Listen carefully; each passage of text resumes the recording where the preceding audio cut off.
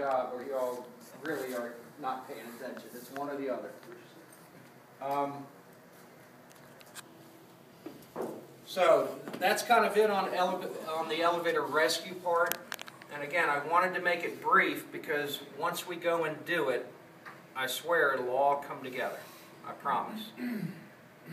I do want to go over emergency recall, which is called phase one and two, and fireman service. Um, few years back, we ran a call, 11700 Old Columbia Pike, fire on the 14th floor. You know, we run that place fairly often. Fire on the 14th floor, a lot of crews coming. I think it went to a second alarm, so there's a ton of people. And you get, what's our SOP for the elevators? Two floors below. Two floors below. It needs to be more than five stories tall to use it. It's got to have, it has to have the phase one and two service and the fireman service. Um, you got to have your SCBA on. You got to have a radio. You're actually, per the policy, you're supposed to have your mask on and your and your uh, regulator in your hand. Most of us don't do that, but it is policy. Um, that all kind of came from, I think it was Memphis.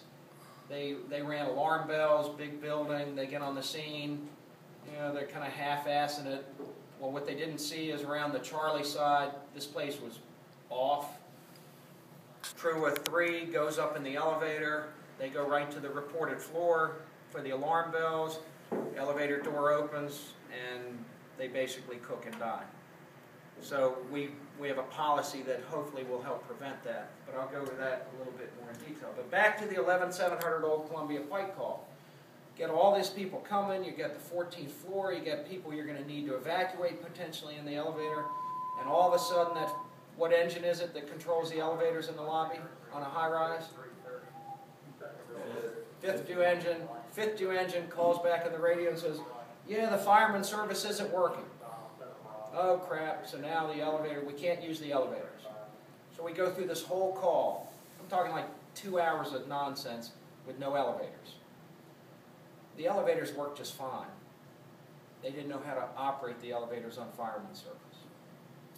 Has, every, has everybody operated an elevator on fire, fireman service before? All right, well, we're gonna do that today.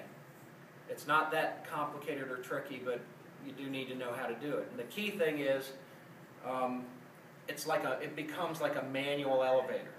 That's the difference. You can't just push the button, it's not gonna take you where you wanna go. So we'll get to that in a second. Phase one recall, that's where you see the smoke detectors in the elevator lobbies. There's smoke detectors in the machine room, sometimes in the shaft. If one of those goes off, it returns the car to the primary floor and the lobby, and the cars come down and the doors open. If the smoke detector in the lobby has gone off, it will take it to an alternate floor, which is usually one floor below, sometimes one floor above. But most of the time, it's going to take you down to the lobby. It's nice for us because right away we get there, the elevators are down, the doors are open. We know we don't have a true emergency situation, which is somebody stuck in the elevator while the building's on fire. I mean, that's pucker time. So it's nice that that phase one brings the elevators down, the doors open, and you're good to go. The phase two part of the recall is the key switch in the lobby. You all get there, the elevators haven't been recalled yet, you can go to the key switch in the lobby, activate the fireman's uh, recall, and it'll do the same thing. The elevators will come down to you, the doors will open, and now you've confirmed that nobody's in the elevators. Okay, any questions about phase one or phase two recall? Phase one is automatic, phase two you have to initiate. Okay, so let's get the fireman service. Again, it allows a controlled operation of the elevator by the fire department. There's a, there's a hierarchy. When you go in and you put your key in and you turn it on, you, there's a hierarchy, and basically you have day-to-day operations, and then you have um, service, which is, let's say somebody's moving in and out, so they get a key that allows them to control the elevator themselves. Next, you have fireman service, and the very highest level of the hierarchy is called inspection service. Inspection service is like the guy's on top of the car, and he's going up and down and checking the cables and things like that. That's the highest hierarchy. Now, does anybody know why that would be the highest hierarchy? What's that? He's in the shaft. Yes. The last thing you want to do is this guy sitting there and he's got this thing on, on inspection service and he's working on something and you go and hit the fireman's recall and all of a sudden that elevator zips down and who knows what it'll do. When you're on inspection service on top of the car, you'd be amazed at how slow that car moves. It really granny crawls. And that's all for safety. Um, you know, our hoistway keys used to be, you used to find them in the lobby. Well, they took all those out. The code now requires them to be in the machine room, locked up. The reason is, up in, up in the projects in New York, the kids do something that's called uh, counterweight surfing. They get the hoistway key, they get into the shaft, and then believe it or not, they ride the counterweights up and down as, as a thrill. So they've, they've kind of done things along the way. Once you put it into fireman service, the fire, little fireman's hat will light up. That tells you you're in fireman service. Oh, one thing I did forget to go over. If you ever open the hoistway doors and you're looking at a traction elevator and you see the cables, and you'll always see the cables no matter where the car is because remember the same cables are connected to the counterweight. If you ever open that door and you see that the cables are slack, you have an absolute true emergency on your hands. And that's when you probably need to call, you know, call for help. Because what that means is that elevator now is sitting there not supported by the cables. It's supported by the brakes on the guides, and you, you know, that's like a last-ditch effort. So if you ever open that thing up and you see slack cables, you know, that's the time to, uh, I serviced the gas. yeah. That's the time to call for some, call for help, without a doubt. All right, so when we operate, when we operate on fireman service, we, we put the key in, we turn it on. Um, You would press the floor that you want to go to, and then you have to press the door close button and hold it. And the doors will start to close. If you release the door close button before the doors close all the way, they're going to open again. Okay? And the same way when you get to your destination, you need to press the door open button. If you release the door open button, the doors are going to close again. And that's a safety feature for us. Let's say you get up to the floor, you start to open the door, there's smoke, let your finger off, that thing will close automatically. So it's a safety feature for us. What's, what's the protocol for actually using the elevator? Let's say the fire's on the, let's say the fire's on the 10th floor. We're going to go to the 8th floor. What do we do in the meantime?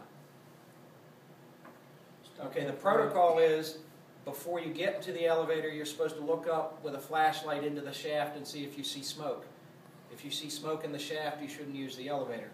The other thing you're supposed to do is at the halfway point to your destination, you're supposed to stop and make sure all those features I just talked about work. So if, it, if it's on the 10th floor, you're going to go to the 8th floor. You want to stop at the 4th floor. You want to operate the door, make sure it opens and closes like it's supposed to, make sure the elevator stopped where it was supposed to, and then again, take another glance inside the uh, shaft and see if you see smoke. Okay, this is an incredible tool for us. You know, I'm like 35 years old. I don't need to be going up and down 15 flights of stairs. I don't. How old are you, Marty? 35 in hamster years. So it's an incredible tool for us, and but you do need to know how to use it. All right, here's the super bonus question. And Roger, you can't answer this because you heard me talk about it the other day. You get into the elevator and you're operating the elevator. Let's say you're the fifth due engine and this is you've become basically the elevator bellboy. You know, you're moving the elevator up and down. Your fireman's hats have lit and all of a sudden they start flashing. What does that mean? Oh, shit. It does mean oh shit, but what does it actually, what's, what, why does it mean oh shit? It means oh shit because the smoke detector, either in the shaft or in the machine room, has gone off and has sent smoke. Okay? if you have smoke in the machine room, you gotta assume that you might have a fire in the machine room. If you have a fire in the machine room, you can't count on riding that elevator. The last thing you wanna do with this building on fire is you be the one stuck in the elevator, now trying to get yourself out or call for help. So if that light is flashing, the use of the elevators is done, yeah. Will that flash only in fire and service or all the time? No, that will only flash after it's gone into fireman's, no, that's not true. Depending on how it's wired, it should flash any time that those smoke detectors have gone off. Because the new, the new fire alarm systems, we can do that. It'll flash anytime. So if it's flashing, does, does it? You're done.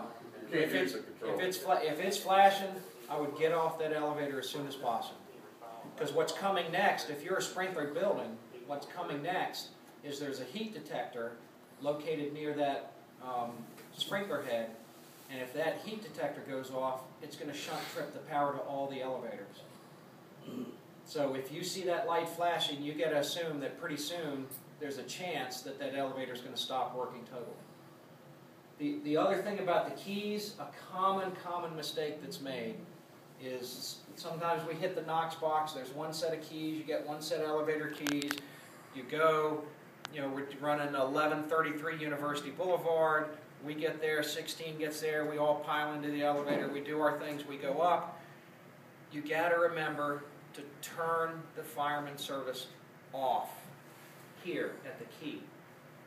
And the reason, and you leave the key in it. And what'll happen then is once you all get off the elevator, then the elevator will go back down so the next group of guys can use the elevator.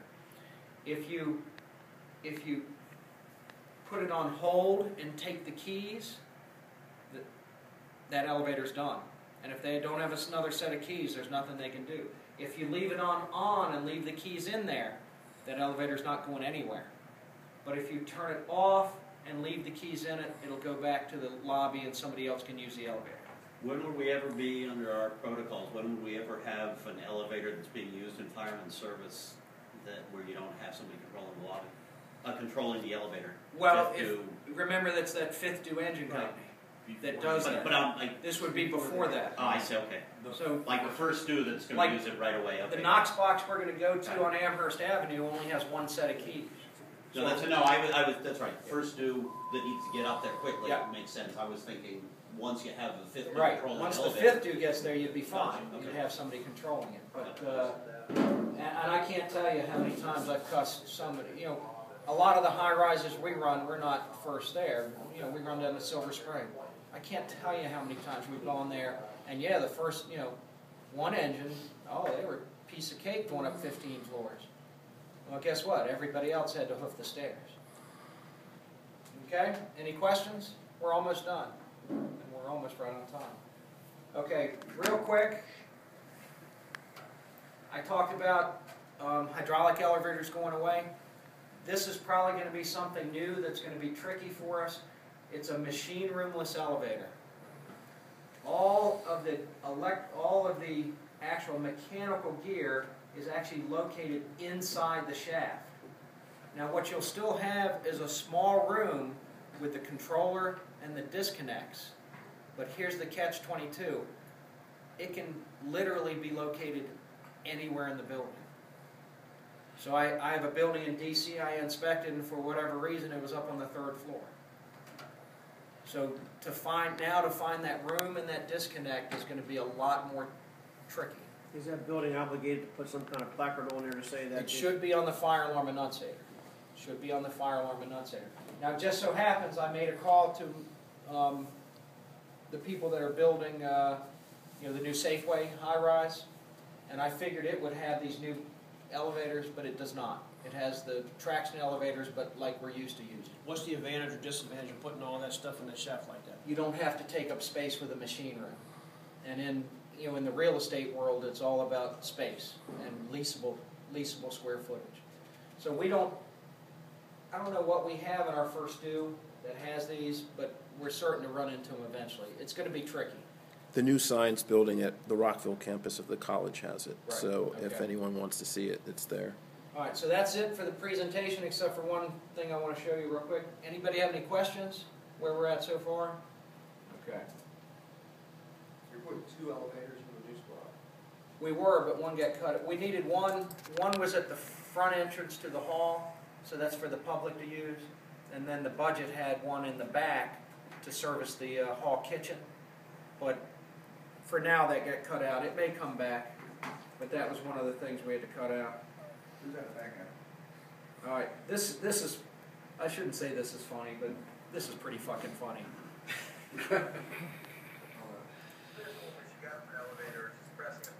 Okay, so this woman's on the elevator, she gets in the elevator, and this guy in the wheelchair is pissed off because he missed it.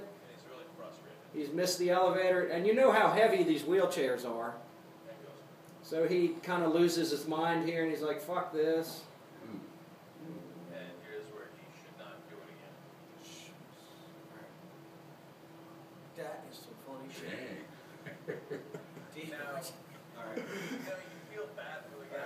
I mean, He needs to get off, doesn't and the only reason I threw that in there is, you know, we, we deal with the public all the time, and there are times where you, you know, it's that Darwinian theory, that lowest common denominator that we deal with that does incredibly stupid things like this.